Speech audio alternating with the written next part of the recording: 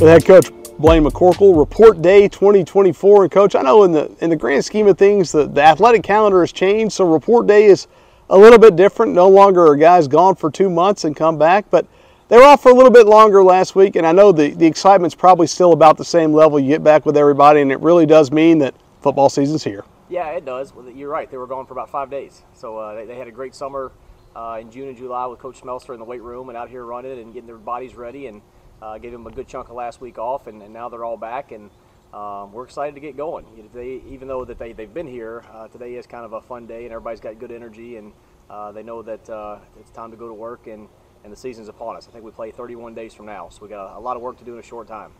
Well, you guys were able, as a coaching staff, to kind of set your foundation and, and get some expectations and things handled this spring.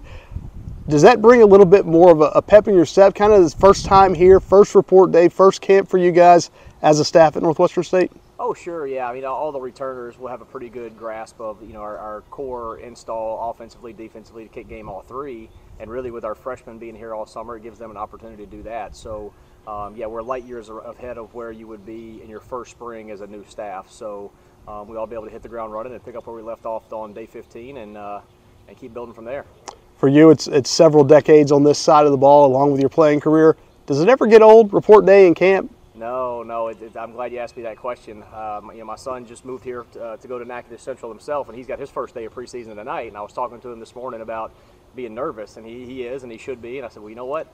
I'm going into year 26 coaching, and 48 years. I'm 48 years old of college football, and I'm nervous today too. So it's it's it's good nervous, and those are exciting things, and uh, that's what makes it special is the excitement of it and the anticipation, and um, it's like opening your Christmas presents. You just don't know how this thing's going to unfold over the next few months, and and uh, it's exciting.